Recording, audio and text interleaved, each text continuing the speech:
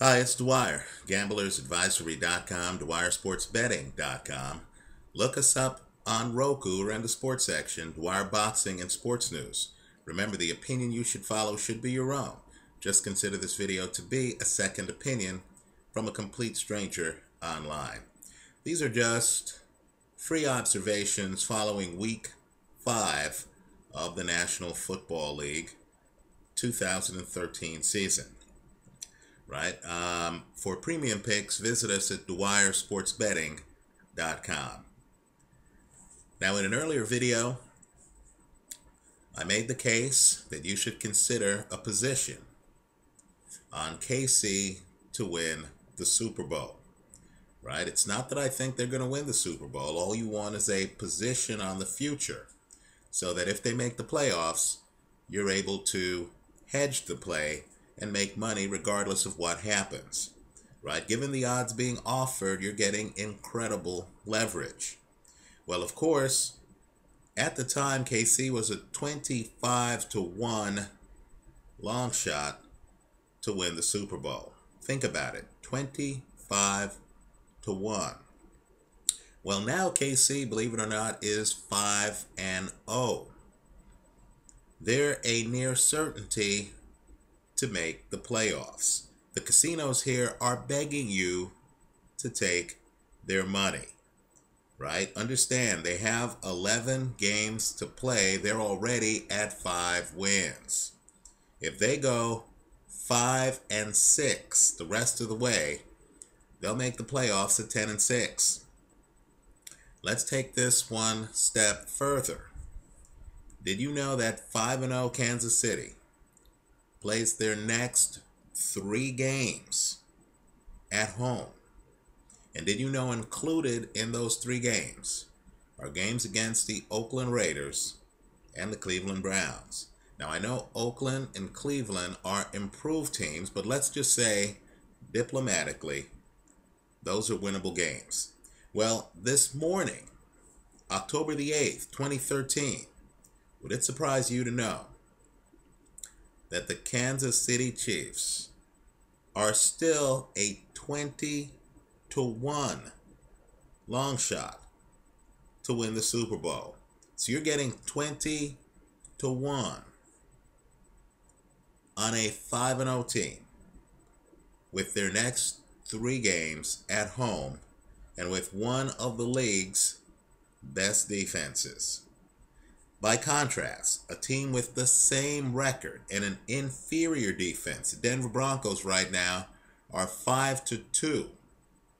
Right? That's two and a half to one to win the Super Bowl. So just think through the math. You're getting compelling value with the Kansas City Chiefs in the futures market. Let's shift gears and talk about another team. I'm in the Bay Area. I can't turn right or left without running into San Francisco 49er fans. And understand, many of these fans were raised on the Roman Empire of the 1980s. Montana, Ronnie Lott, Jerry Rice, Roger Craig, Keena Turner. You remember those names, right? Charles Haley. And they feel it's their birthright to dominate. Even in the 1990s, people forget. They won a Super Bowl with names like Steve Young, Ricky Watters, right? During that 1990s decade, they also had a great young wide receiver, Terrell Owens, right? So the people out here really have expectations that might be a bit unrealistic. Here's what you need to know about the San Francisco 49ers. Can we agree that in the postseason you need a quarterback who can see the field, who can hit the open receiver, who spreads the ball around? The last thing you want is a quarterback who can't do that. A quarterback who fixates on just a few targets, especially when those targets might not necessarily be a prime Jerry Rice or a current Dez Bryant, right? If those targets aren't overly dominant wide receivers, then you're at a disadvantage if you're backing the quarterback who's just hitting, let's say, possession receivers and tight ends. Take a look at the San Francisco 49er box score in their big victory over the Houston Texans. Right here, as you can imagine, they're calling it a blowout. It's hard to argue otherwise when one team has over 30 and the other team only has three points. In that game, for the 34 or, so points the 49ers scored, did you know that Colin Kaepernick, their quarterback, only completed passes to three people? Three. Of his six completions, you heard me right, six completions, five of them went to Pro Bowl tight end Vernon Davis and possession receiver Anquan Boldin. Folks, if your quarterback cannot spread the ball around better than that, you're in trouble. Kaepernick physically is one of the most gifted quarterbacks in the league. He has a gun, right? He's one of the most accurate throwers in the league. And of course, when he uses his legs, he's one of the fastest quarterbacks, one of the best running quarterbacks in the league. But you know how this works. The story's out on him now. People know he can run. So they're going to keep him in the pocket in the playoffs, right? Defenses are not going to let him beat them with his feet. In the pocket, Colin Kaepernick is not a quarterback who sprays the ball around the field. Just consider the press is ripping Matt Schaub. Matt Schaub completed passes to eight different receivers. Eight. Colin Kaepernick, three. Right? If you go back and look at the stats from the 49er Seattle Seahawk game, you're going to see the Seahawks with press coverage manned up on and stopped Anquan Boldin. He can be stopped. Right? What happens then? Are 49er fans really hoping that Michael Crabtree comes back from a torn Achilles in November and somehow is operating at prime Michael Crabtree level by the time the playoffs roll around. In fact, let's get real here. Isn't there a chance that the Niners don't even make the playoffs? How wide was the margin really in that Houston Texan game when the Texans had as many first downs as the San Francisco 49ers?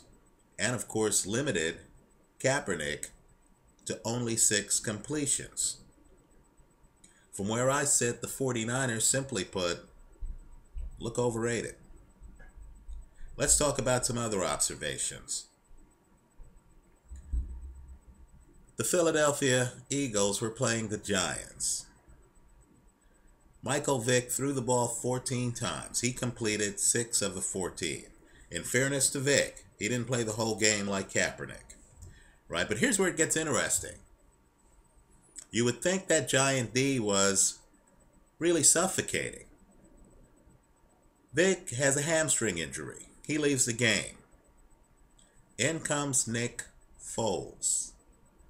Now understand, in this era of rookie salary caps, where even elite rookies like Russell Wilson, like Colin Kaepernick, are paid really very depressed wages by NFL standards, right? These are guys making around a million dollars a year, right? In a league in which Joe Flacco is making $20 million a year.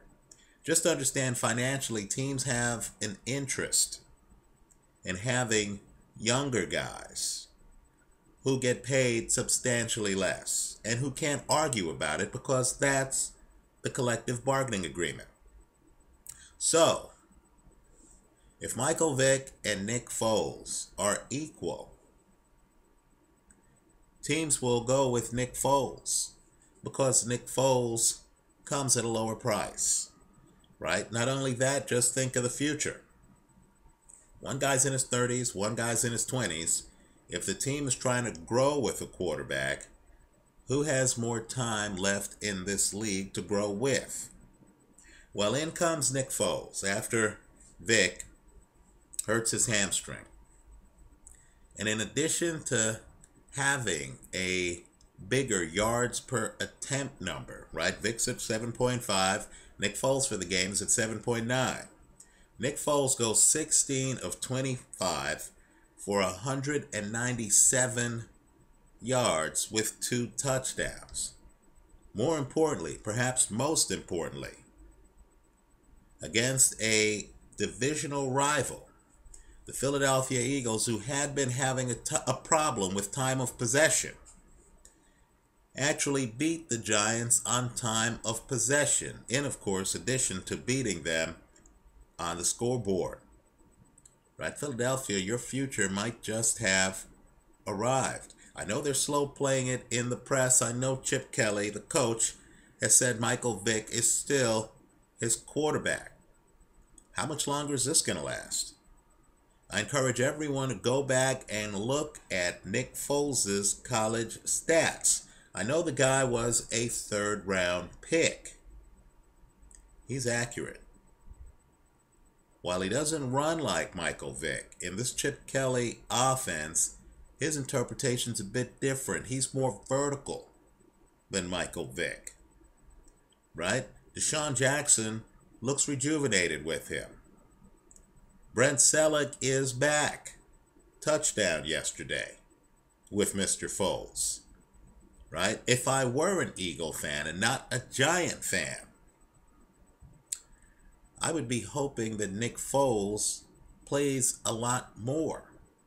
So the official story, and understand there's the party line, then there's what's really going on. The official story is that Michael Vick, who Chip Kelly said right after the game could have played if necessary, that Michael Vick is too banged up to play next week.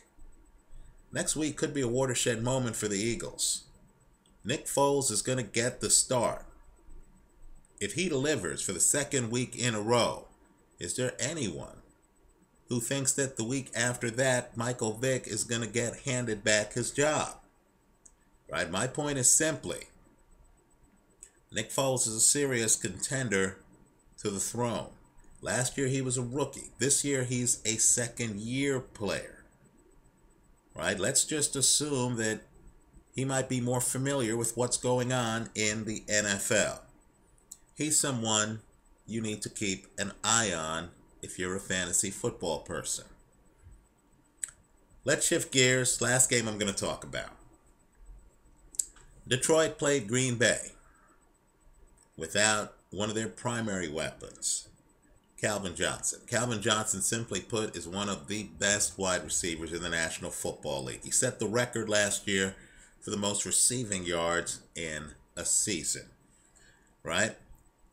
But without Calvin Johnson, Detroit looked awfully limited against a defense, quite frankly, the Green Bay defense, that's not an elite defense, right? Understand Detroit had less than 300 yards of total offense.